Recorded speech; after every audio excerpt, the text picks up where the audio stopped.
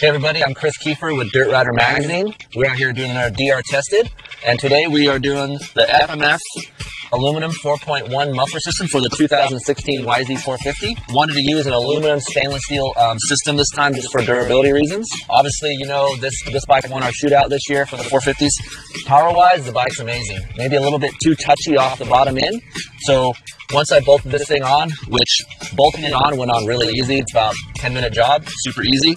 It smoothed out the low end feeling a little bit for me, so I had a little bit more traction and a little bit better connection from my throttle hand to the rear wheel, which I prefer. And this is where it gets exciting. Mid-range pull is increased, and obviously with this bike stock form, top end kind of falls off a little bit.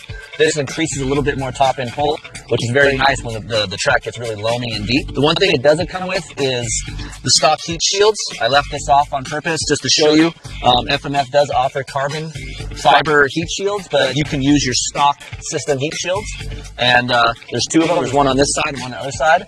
And I just use stock. It's a cheap way to go. FMF did the job this time, and uh, I'm very pleased. This has been a DR tested with the FMF 4.1 aluminum stainless steel system. Check back to dirtrider.com for more videos.